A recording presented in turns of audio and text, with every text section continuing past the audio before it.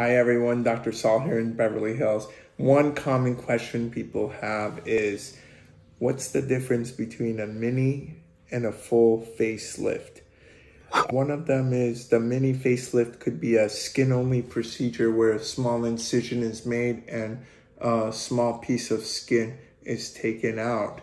But for a full facelift, you're going from the hairline to the ear to behind the ear and you're you know you're doing some work with the SMAS layer the SMAS layer is underneath the skin and is the real strength layer when they're doing a deep plane uh, facelift they're going underneath the SMAS and pulling up the SMAS so usually with a full facelift, you're talking about something being done with the SMAS layer and pulling it. It lasts longer, gives you a better definition of the neckline. So the mini against the full.